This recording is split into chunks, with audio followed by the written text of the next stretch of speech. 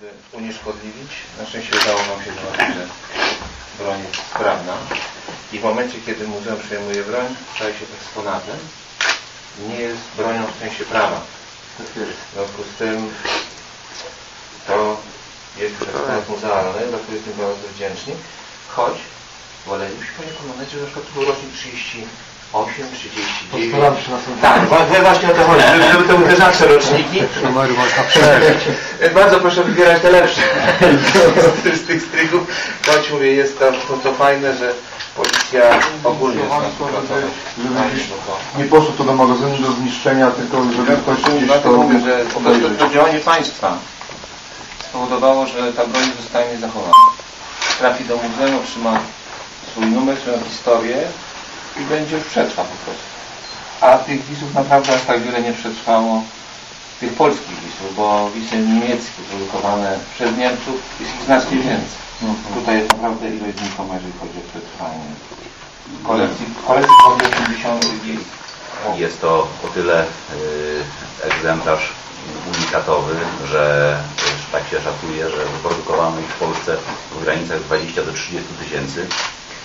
Y, Badacze do dzisiaj nie są zgodni co do y, takiej ostatecznej, pewnej liczby. Y, Jest to broń bardzo dobra, świadcząca bardzo dobrze o polskiej myśli konstrukcyjnej. Jest to broń na tyle dobra, że Niemcy po kampanii wrześniowej podjęli produkcję tego typu pistoletu i ich wydajność znacznie przekroczyła, około 8-10-krotnie przekroczyła tą wielkość produkcji, którą y, wyprodukowano dla Wojska Polskiego.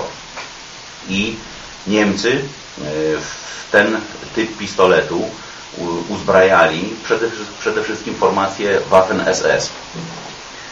Myślę, że to jest wystarczająco dobra rekomendacja. Bardzo dobrze się stało, że akurat ten egzemplarz przetrwał. Bardzo dobrze się stało, że któryś z Państwa funkcjonariuszy padł na właśnie pistolety WIS. Wszyscy żołnierze z załóg sprzętu pancernego bez względu na stopień. Y, Ten pistolet y, jest taką bronią bardzo dobrze leżącą w dłoni, bardzo y, stabilną.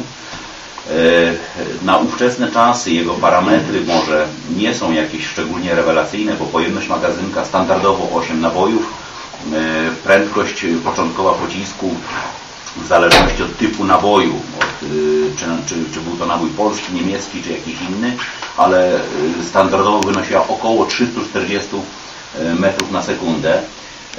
Broń ta zasilana była standardową amunicją typu Parabellum 9 mm, 9 x 19 Jest to amunicja, która do dzisiaj jest używana w bardzo wielu armiach i policjach na całym świecie. Także myślę, że tutaj wybór tego naboju y, w momencie, kiedy podejmowano te prace konstrukcyjne nad tym typem pistoletu, y, gdzie zrobili to inżynierowie Wilniewczyc i Skrzypiński, to myślę, że podjęli bardzo trafną decyzję.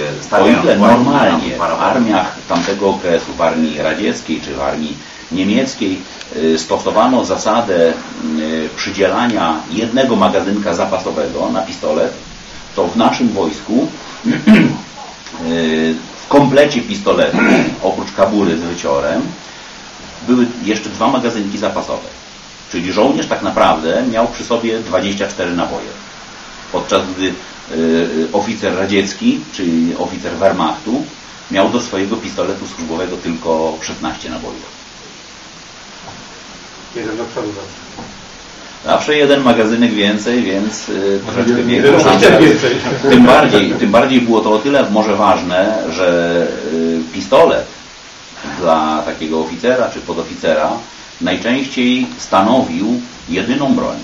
W tamtych czasach y, kadra oficerska czy podoficerska nie miała na wyposażeniu broni długiej, tak jak ma to miejsce dzisiaj. Dzisiaj nasi żołnierze y, wyjeżdżający gdzieś do Afganistanu czy, czy wcześniej do Iraku, to prócz tego, że y, oficer czy podoficer dysponuje pistoletem, nawiasem mówiąc pistoletem e, bardzo marnym, bo te, które my, dzisiaj mamy, to oczywiście nie mówię o glokach. Nazwy tych pistoletów nie będę wymieniał, chociaż, chociaż są bardzo podobne w, nazwą, w nazwie do, do, do tego pistoletu.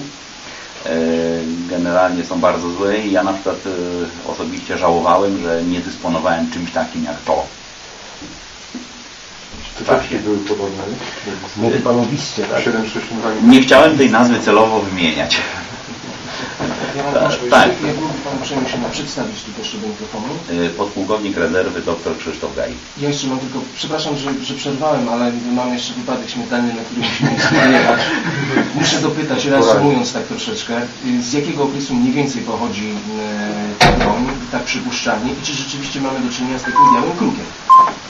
To znaczy, tu, co, do, co do okresu, z jakiego on pochodzi, to tutaj wątpliwości raczej nie ma, ponieważ tutaj jest e, wybita data produkcji. Tutaj, o ile, o ile dobrze widzę, jest rok 1930, chyba ósmy, jak widzę.